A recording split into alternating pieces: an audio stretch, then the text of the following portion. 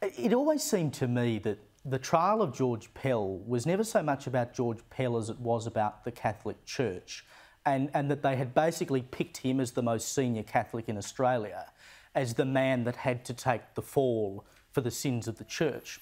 And then when that all ultimately fell apart in the High Court, it, it felt like a terrible moment for the entire cause of, of trying to repair what was done within the Catholic Church because they had pinned their hopes on one man who was ultimately found not to have committed the crime that he was accused of.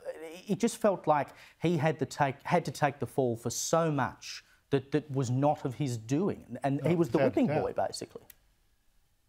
Well, you must also acknowledge that uh, for a couple of decades before then, he was already on the media hate list. I'm talking particularly the ABC, which unanimously was against Pell for, for decades because he was conservative, because he tried to uh, make priests follow the teaching of the church rather than a left wing gospel. Uh, because he did things like question global warm, the global warming religion, which he correctly saw as a rival faith to uh, the Christian one.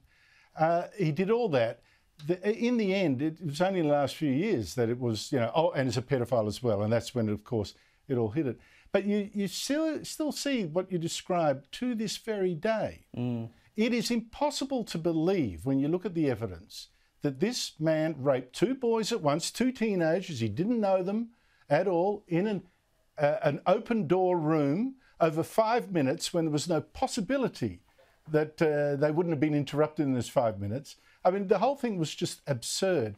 He is innocent. Yet, right now, you've got people like the Prime Minister, like Derryn Hinch, say, oh, look, you know, it's a difficult day for Catholics. You've got uh, Louise Milligan, the ABC journalist, who made a mozza writing books uh, falsely spearing him as a pedophile. Oh, this is a triggering day uh, for victims. Look, it's an insult to victims of, Catholic priests, pedophile priests, and they did exist, and may they rot in hell, some of them. Indeed. It's an, it, it is an insult to them to think that they would or should feel better for by jailing an innocent man for crimes he could not possibly have committed. How on earth is that justice? And why do politicians and even some priests, uh, some bishops to this day, why do they tiptoe around and say, "Oh, we're really sorry for the victims. Oh, you know, uh, we've got to remember the victims of this day that uh, George Pell is dead." No, He's an innocent man, an innocent man.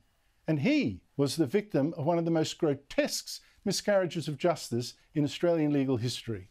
Well, following uh, my show this evening, we'll be playing your interview with Pell back in 2020 when he came out of prison. Let's just take a quick listen to some of what he said at the time.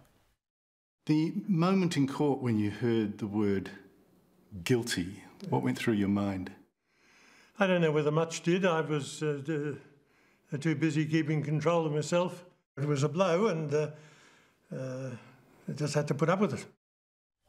You obviously saw him after what would have been one of the darkest times in his life. What stood out to you about him then? He had a sense of injustice. He felt that there was something going on with the Victoria Police, and I believe is absolutely correct.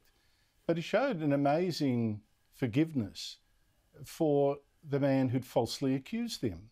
I find that, uh, look, I say, to, the, to his last days, he was a true Christian trying to live up to the faith of Jesus Christ. I'm not a Christian, but I greatly admire that. And I think a lot of people today should remember him as having followed Christ in one thing. He was unfairly accused, he was crucified, and he died for the sins of others. Andrew Bolt, thank you so much for joining me tonight. Thank you.